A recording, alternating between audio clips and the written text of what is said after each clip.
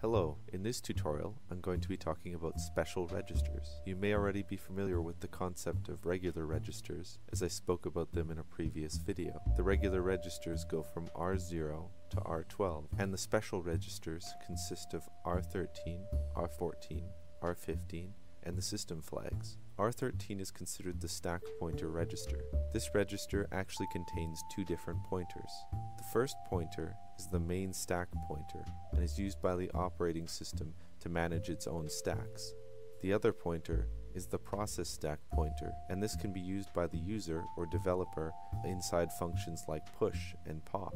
For example, if I was to push a value onto the stack, the top value of that stack would be pointed to by the process stack pointer. R14 is called the link register and is mainly used by branch functions to hold your place in the main program while you go off to some subroutine.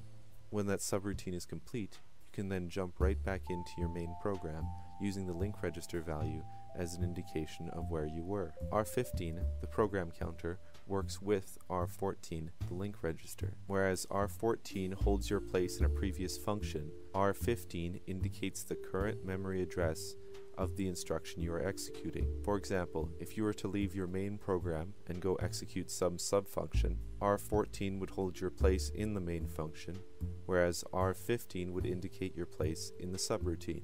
There are also other values stored in the PSR register. These are called system flags. System flags are very important as they give you feedback on what you have done inside your registers.